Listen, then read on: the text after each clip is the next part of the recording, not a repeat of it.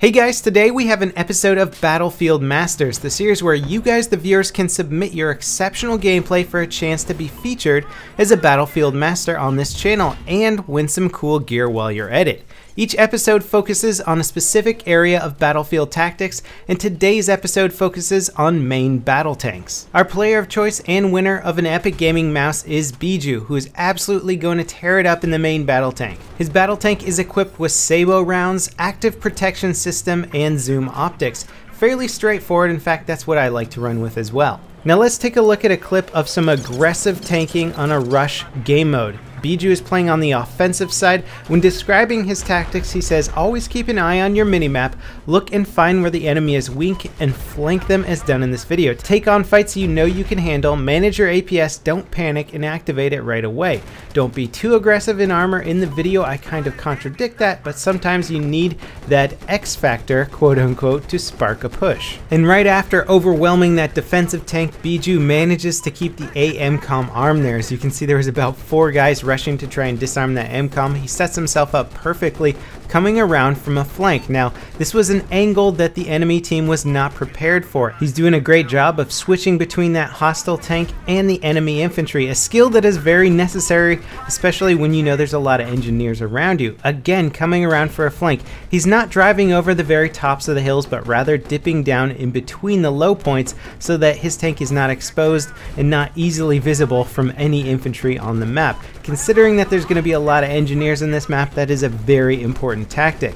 And here we're getting to the really aggressive point in the video. Sometimes you need to motivate your team, really push up there and distract the enemy infantry. There's a lot of engineers, so Bijuu activates his APS at tactical moments and just has to eat the rest of the shots. I don't imagine he thought he was going to be alive for too long here, but he's managing to get so many infantry kills along with his gunner really taking out enemy there that uh, most engineers are not getting more than one shot off with their rockets towards him, and he's making sure to keep the front of his tank always pointed towards them to mitigate as much damage as possible. And just look at this brutal flank. About four infantry literally just had their backs to him, and he mows them all down. Pops out for a second to get a repair off there and then re-engages the infantry. His gunner sticking in the tank the whole time, not jumping out when things get a little bit too chaotic. They finally get taken down there, but not after Bijuu gets a solid 20 kills by himself, not including the gunner. Now let's see what Bijuu does on the defensive side in another rush game.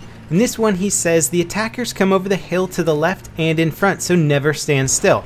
Always keep on the move and look at your minimap a lot. The tank on defense side is key to winning. You will be the enemy team's biggest target. Don't sit back and let them push. Push up, be smart and aggressive to show you mean business. And certainly right away, Bijuu wastes no time getting out in front, taking out that Jeep, and now engaging a tank. And watch the technique as Bijuu maintains maximum speed while moving sideways and landing every single shot on this main battle tank.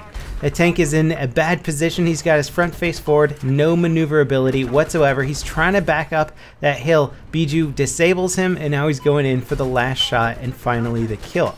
It's pretty damn impressive, never missing a shot, always maintaining maximum mobility. Takes a lot of practice with the tank, not only just uh, being aware of where you're driving and not getting the tank stuck in a ditch, but also keeping it level so you can take nice, even shots. Now it appears that the enemy has gained the high ground, and Bijuu has pushed up far enough that you'll see most of the enemy he's engaging are not actually looking at him, but they're looking a little bit more forward. They're really trying to use this cliff top here, shooting down at the infantry. Looking at the mini-map, you'll see he's getting almost surrounded on the front side there, really focusing on that left and uh, I imagine he's going to change his attention to the front in just a second as a rocket does come in and take uh, a hit at him. So he's going to back up real fast, realizing that he's kind of right in the middle of a concave right there, and that is the last thing you want to do. And thanking his reppers for him mid-combat. What a guy. Uh, definitely a nice way to keep people active and uh, supporting your tank while in the thick of things. Another tank is starting to push up on the road, and rockets are just flying past Bijuu non-stop. The enemy has really made a big push on the front side of this map here. Uh, the problem is that there's very limited cover there. So Bijuu's really going to change his attention to focus on the front side of the map a little bit more and take out those highly vulnerable infantry that really just have to peek their head up over a little hill and then they are cannon fodder for his HMG. And sometimes you look at awesome gameplay and you think, oh, this guy's only doing well because the enemy team really doesn't know what they're doing.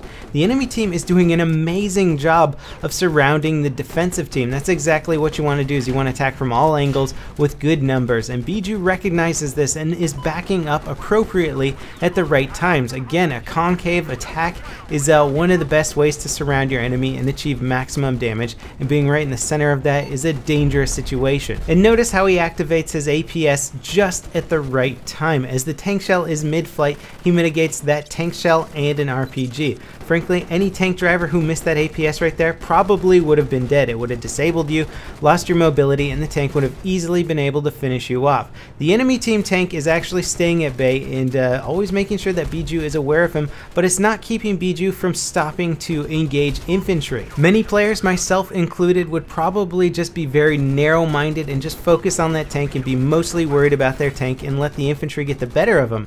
In this situation, Bijuu is making sure to still clear off the tops of the rocks there, keep his eyes open for all infantry around the map as a defensive player burning down those infy tickets are really going to win the game for you. And he's got him down to about 15 tickets now, so it's time to be a little bit more aggressive. And he's really pushing out into this meadow, making sure not to peek this corner until uh, he's cleaned up the infantry around here, or at least put them on bay. And his uh, active protection was charged again, so he can activate it, take out that infantry, and move in for the kill on this tank. And he just does it so beautifully. Only taking one direct shot from that tank there in the entire engagement, while at the same time taking out multiple infantry with rocket launchers. And I'll admit, I'm very impressed by how aggressive he's able to be on this map.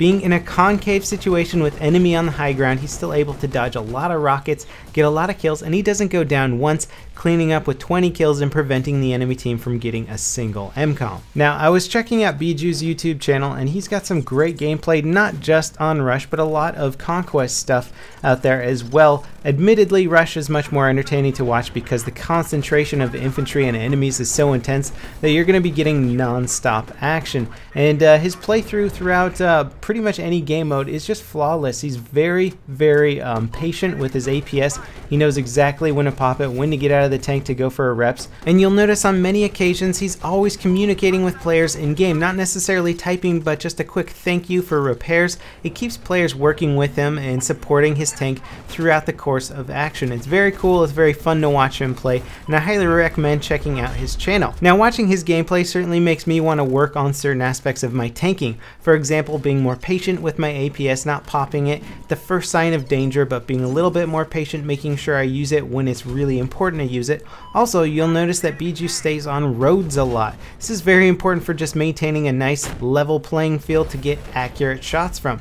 If you go off-road, you're going to get a lot of slippage, a lot of weird moving around and stuff like that, and you're going to end up missing a lot of shots, and also it's going to be harder to escape enemy infantry RPGs, and mobility is a big part of his gameplay here. The reason why he uh, is so effective with APS is that he uses it when he absolutely needs to, and the rest of the time he's just dodging RPGs. So I hope you guys learned some stuff from watching Bijuu's gameplay and breaking it down. If you would like to be considered for the next episode of Battlefield Masters, check the video description for details on how to submit, and the subject matter this time around is going to be the support class in objective-based gameplay. So anything that is not team deathmatch or domination, I want to see you using support gadgets and playing the class in a very effective way that really shows why the support class is needed in objective-based game modes. As always guys, thanks for watching and I'll see you next time. This is Level Cap, signing off.